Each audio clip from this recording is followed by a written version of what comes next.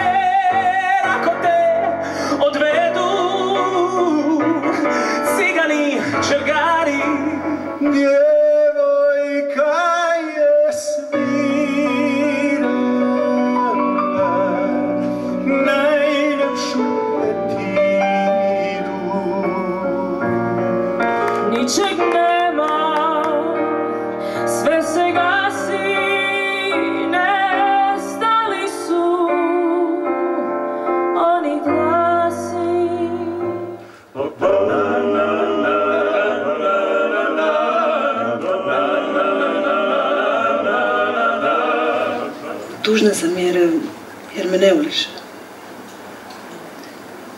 A sumnjam da si me ikada i volio. Tužan sam jer me ne voliš.